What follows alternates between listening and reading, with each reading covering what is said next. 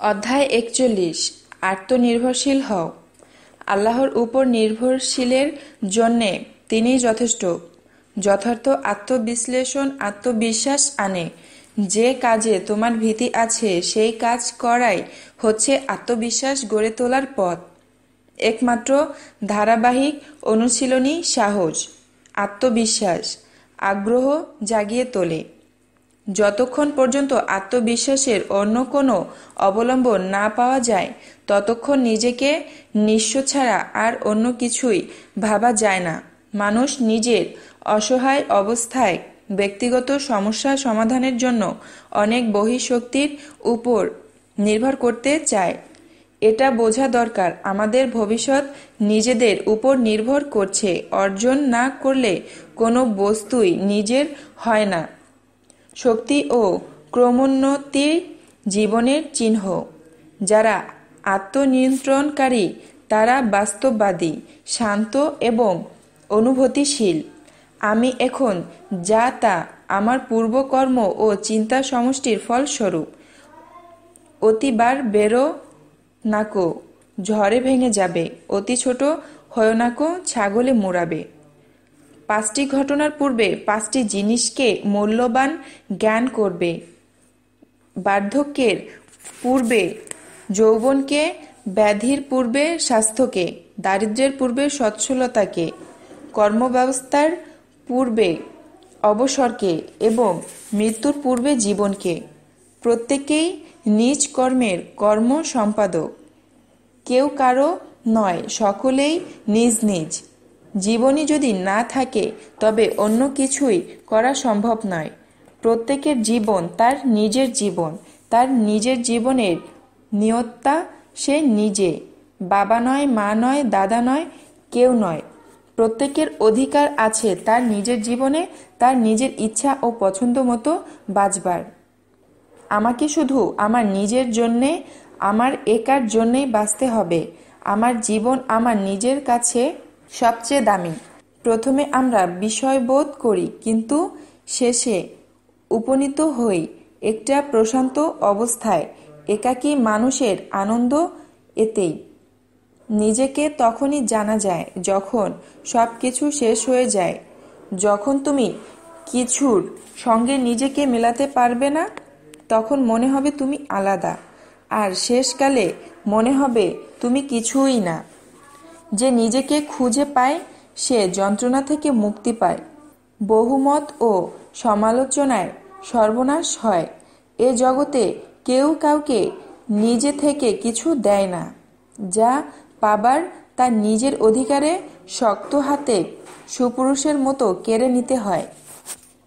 ধরণী স্বভাবত কি দান করে আজকাল তারই উপরে ভরসা করতে গেলে ঠকতে হয়।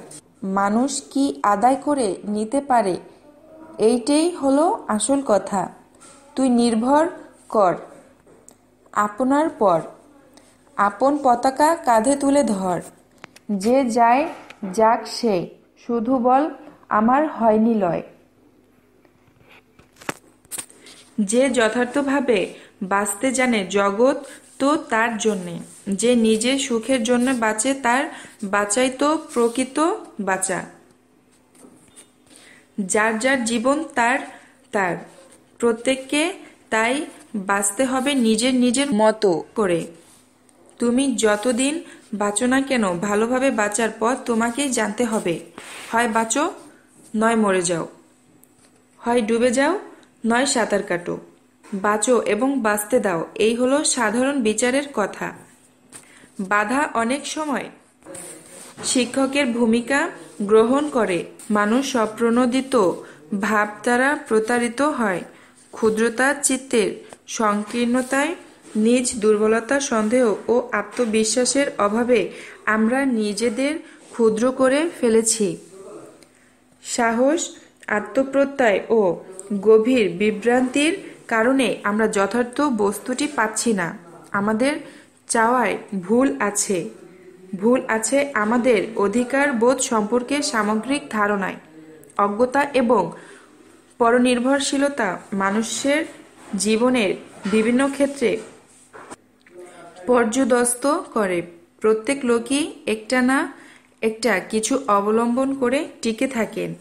বাহিরের অবলম্বন নয়, মনের অবলম্বন। এই অবলম্বন না থাকলে মানুষ নঙ্গরহীন নৌকার মতো সংসার সাগরে ইতস্তত বিক্ষিপ্ত হয়। এই অবলম্বন তার শক্তির উৎস, ব্যক্তিত্বের কেন্দ্র বা অহংকার। কারও জ্ঞানের অহংকার, কারও ধর্মের অহংকার, কারও যশের অহংকার, কারও টাকার অহংকার। এসব নোঙ্গরের সহায়তায় আমরা নিজেদের জীবনকে স্থির রাখার চেষ্টা করি। যিনি ধার্মিক তিনি ধর্মকে আঁকড়ে থাকেন। যিনি জ্ঞানী, তিনি জ্ঞানকে। যিনি ধনী, তিনি মনে করেন টাকার জোরেই তিনি টিকে থাকেন। আমাকে কেউ ভুল বুঝবে না। শক্তি কেবল দৈহিক হতেই আসে না। অনমনীয় ইচ্ছা, শক্তি হতে উহা এসে থাকে। নিজের উপর বিশ্বাস, ঈশ্বরের উপর বিশ্বাস, এই বড় হওয়ার রহস্য। আমার আপন খবর আপনার হয় না। একবার আপনারে চিনতে পারলে যাবে অচেনারে চেনা। অন্যের উপর নির্ভর করা এক ধরনের রোগ। এর ফলে জীবনে উন্নতি লাভ করা যায় না। যার নিজের উপর প্রভুত্ব নেই, সে কখনো স্বাধীন হতে পারে না। আত্মশক্তির প্রতি যার শ্রদ্ধা আছে সে একদিন যত বিলম্বের হোক না কেন গগন মার্গে মস্তক উচ্চ করে দাঁড়াবেই মানুষের অনুকম্পা পাওয়ার চেয়ে ঈর্ষা পাওয়া শ্রেয়। পরনির্ভরশীলতা, ভীরতা ও কাপুরুষতার পরিচায়ক। আত্মশক্তিতে বিশ্বাসহীনরাই পরের উপর নির্ভর করে। এরা কখনোই আপন শক্তিতে বলিয়ন হয়ে শক্ত। বাহুতে বিপদ বিঘ্নের মোকাবিলা করতে পারে না। বাঘ পৌরুষের সংজ্ঞা, একাধিক স্ত্রীর রোজগারে প্রায়শই বসে খাওয়া সিংহ বাঘের ব্যক্তিত্বময়। একাকিত্ব এবং পুরুষ কোথাও পাবে। যে শিকারী জানোয়ারেরা দলে থাকে এবং দল বেঁধে শিকার করে তাদের আত্মবিশ্বাস এবং ব্যক্তিত্বের অভাব থাকতেই পারে। অন্তর ও আমলের প্রতি যত্নবান হও, সমতা অবলম্বী পুরুষ হও, অন্য লোকের মুখাপেক্ষী না হয়ে ধৈর্যসহ নিজ তথ্য অনুযায়ী নিজের কাজে মশগুল হও। পথ প্রদর্শকের সন্ধানে হয়রান না হয়ে ব্যক্তিগত মত তথা মনের প্রতি দৃষ্টি রাখো এবং উহার বিপরীত আমল করা হতে বেঁচে থাকো। নিজেকে বড় ভাবাও, যেমন দোষের, তেমনি ছোট ভাবাও দোষের। নিজের সম্বন্ধে যথাযথ ধারণা থাকা উচিত। নিজেকে কখনো অপরের চেয়ে ছোট মনে করো না। অন্য লোকে মানুষকে যত ঠকায় মানুষ নিজে নিজেকে তার চেয়ে বেশি ঠকায়। সমাজ, সংসারের শত কর্তব্য পালন করেও নিজের জীবন ও নিজের নিজস্বতাকে যে মানুষ অটুট রাখেন না, বুঝতে হবে যে সেই মানুষের মনুষ্যত্ব বোধ হয় সম্পূর্ণতা পায়নি। নিজের জীবন নিজের অভীষ্ট, নিজের আনন্দ অন্যের করনির্ভর হবেই বা কেন? তা হতে দেওয়াটা নিশ্চয়ই ভীরুতা। মানুষ তোমাকে ছোট কাজ করতে দেখে নাক ছিটকাবে পারে। কিন্তু যে নাক ছিটকায়, দুর্দিনে তার কাছে একটা পয়সা চেয়েও দেখবে সে কেমন করে তোমার কাছ থেকে সরে পড়ে। সংসারে কারও উপর ভরসা করো না। নিজের হাত এবং পায়ের উপর ভরসা করতে শিখো। পরনির্ভরতা স্বাবলম্বী হওয়ার চিন্তা, মানসিক প্রতিযোগিতা, হতাশা, অহংকার, উন্নত মানের বিমূর্ত চিন্তা মানুষ বিকাশকে আচ্ছন্ন করে। নিজ ব্যক্তিত্ব, আত্মশক্তি ও স্বাধীন বিবেক বুদ্ধিতে বিশ্বাস প্রয়োজন। অন্যের উপর নির্ভর করে থাকতে নেই। পরমুখাপেক্ষী বা কারও দয়া ভিক্ষা করে বাঁচতে পারা যায় না। নিজের অভাব বেদনা নিজেকেই মীমাংসা করতে হবে। অজ্ঞতা এবং পরনির্ভরশীলতায় সত্যিকার অপমান। নিজ বাহু বলি বড়। পরনির্ভরশীলতার চাইতে আত্মশক্তিতে আত্মবিশ্বাসী হলে সফলতা লাভ করা সম্ভব। জীবন নির্বাহের পাশাপাশি কারও উপর নির্ভরশীল না হয়ে তার সম্পর্কিত সকল বিষয়ে সিদ্ধান্ত নিতে পারাই হচ্ছে মানুষের ক্ষমতায়ন। ক্ষমতায়নের অর্থনৈতিক, সামাজিক, রাজনৈতিক ও সাংস্কৃতিক দিক রয়েছে। অতীত বা ভবিষ্যৎ মূর্ত নয়, বর্তমানই সুখের। নিজ দাবিতে বাঁচতে শেখো। মানুষ বাঁচে নিজের মূল্যে। ভয় বা নিরাশায় কখনো অন্যের দয়াপ্রাপ্তি হওয়া অনুচিত।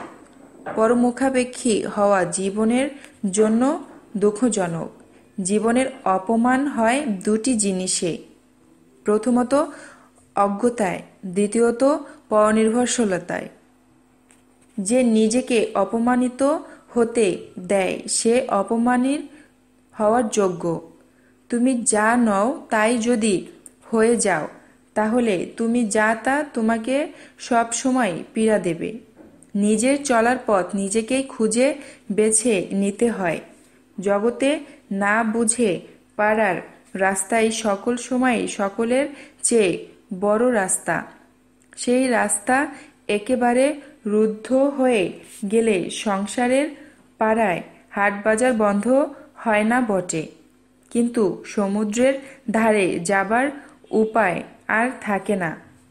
পর্বতের শিখরে চড়াও অসম্ভব হয়ে ওঠে।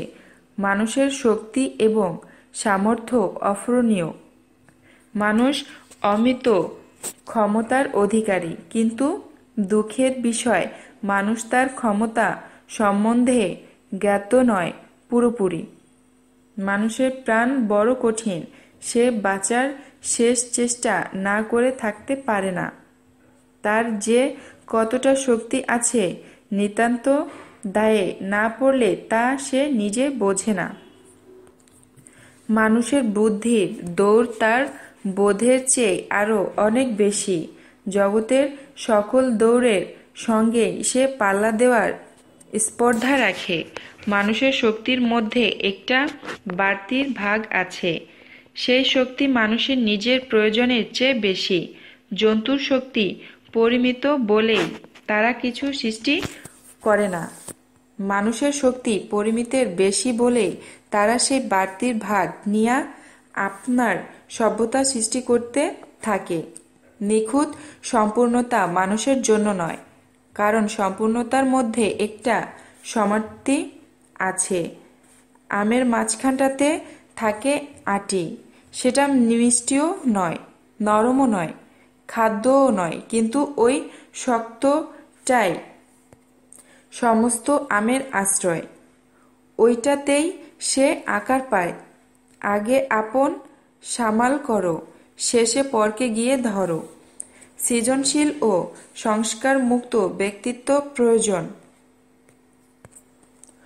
অর্থনৈতিক অগ্রগতির জন্য, মনস্তাত্ত্বিক রূপান্তর না ঘটলে কোনো অগ্রগতি ত্বরান্বিত হবে না। অর্থনৈতিক কার্যকলাপের সাফল্য অর্জন স্পৃহার উপর অনেকাংশে নির্ভরশীল। আত্মনির্ভরতা ও আত্মসচেতনতা থেকে অর্জন স্পৃহা মানুষকে অর্জনে উদ্বুদ্ধ করে তোলে। এ পর্যায়ে ঝুঁকি গ্রহণ, ব্যক্তিগত দায়িত্ব পালন ও সৃষ্টিধর্মী প্রত্যয় জীবনে প্রতিষ্ঠা আনে। উচ্চ পর্যায়ের লক্ষ্য স্থির। আত্মপ্রত্যয়ের প্রতি গুরুত্ব, মমতাপূর্ণ, উষ্ণ পরিবেশ, উৎসাহ, প্রেরণা খুব নিকট জনের অর্জন স্পৃহা, ব্যক্তি অর্জন স্পৃহা, জাগ্রত ও উদ্দীপ্ত, পরে অর্থনৈতিক উন্নতির জন্য পরিবেশ সৃষ্টি, চ্যালেঞ্জ মোকাবিলার মনোভাব ও সংকল্পই যথেষ্ট। বস্তুবাদী বা আধ্যাত্মিক যে কোনো আদর্শই অর্জন স্পৃহা ব্যক্তির অন্যতম উপাদান। আন্তরিক সমতার পুষ্টির দ্বারাই হাজার প্রতিকূল পরিস্থিতির মধ্যেও নিজের সুরক্ষা বিষয়ে মিথ্যা ভয় দূরীভূত হয়। নির্ভরতা আসে, জীবনের নিরার্থক চিন্তা থেকে মুক্তি পাওয়া যায় পরিস্থিতি সমূহের পরিবর্তনশীল তরঙ্গ সমূহকে সহজভাবেই অতিক্রম করার শক্তি আসে। ভবিষ্যতে সুরক্ষার জন্য চিন্তিত থাকা মানুষের মনের স্বভাব। আত্মনির্ভরশীল হলে পরিবেশ ও পারিপার্শ্বিকতার উপর কর্তৃত্ব করা সহজ হয়। পরিবার, প্রতিষ্ঠান, সমাজের মূল্যবোধ, ইত্যাকার বৈশিষ্ট্য মানুষের প্রেরণার মাত্রা ও প্রকৃতি নির্ধারণ করে, আত্মনির্ভর করে তোলে। আত্মমর্যাদা বোধের উদ্বোধন হয় মানুষের নৈতিক চরিত্রের উন্নতি সাধন থেকে এবং উন্নতির সাধন জাগিয়ে দেয় কর্তব্য বোধ। মানুষের আত্মবিশ্বাস আর সৃষ্টি শক্তি জগতে মহৎ সৃষ্টি করতে পারে। সে দুঃখ কষ্টে মুমূর্ষ না হয়ে আরও শক্তিমান ও মহিয়ান হয়ে ওঠে। কোনো মতবাদ বা সংগঠন নয়। অন্তরের সহজাত উদ্দীপনা নিজের ভেতর থেকে সঞ্জাত। সংকল্প আমাদের মহত্তর, উন্নত ও যোগ্য মানুষ করে তুলতে পারে। নির্ভরশীল না হয়ে স্বাবলম্বী ও আত্মনির্ভরশীল হতে হবে। জীবনপণ করে সাধনায় প্রবৃত্ত হতে হবে। ব্যক্তির ত্রাণকর্তা ব্যক্তি নিজেই অন্যথায় কোনো ত্রাণ নেই।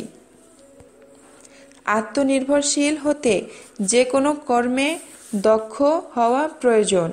এক স্তরের শক্তি পরবর্তী স্তরে আরোহণের সোপান।